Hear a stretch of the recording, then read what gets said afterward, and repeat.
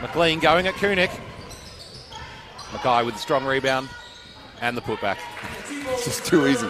Too easy in the post. I think McLean got away with a little drag one over in the back corner before, so call There it you go. even. Uh, Brookshire, Too little bit- yeah, too easy there for the little slip. That's the one they're talking about. Kicks of the week, footlocker, Uh, the kicks of the week. 270s, yes. Uh, you got the 270s, but on court here, what stands out is kicks of the week for you. Which ones would you wear? With the Yarra River in the top, and which is the lifeblood of the Wurundjeri and the Boon Wurrung people whose land we live and compete on. Atwell from deep. Her second triple in a row. Bendigo out again. She's had a good three ball the past couple games. She really has done a good job shooting it. Atwell again. So is she. Looks great. Never seen a team run and gun since you know you can talk about the And run and run and run and run. oh the um the the Suns the Nice feed from McKay there to Sexton. Gets the two.